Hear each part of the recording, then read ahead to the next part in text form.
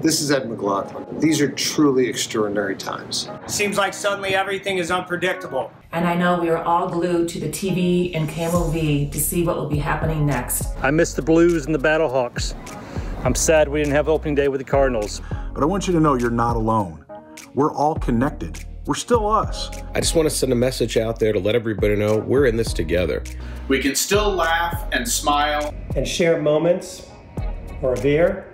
And we can still find comfort in our furry friends like Ricky here. But remember, we're going to get through this and we'll be stronger than ever. I want to send you a flurry of support for staying safe by staying inside. We're still us. And remember, St. Louis, we're in this together. We're, we're in this together. together. We are all in this together. We're all in this together. We're in this together. St. Louis, we're in this together.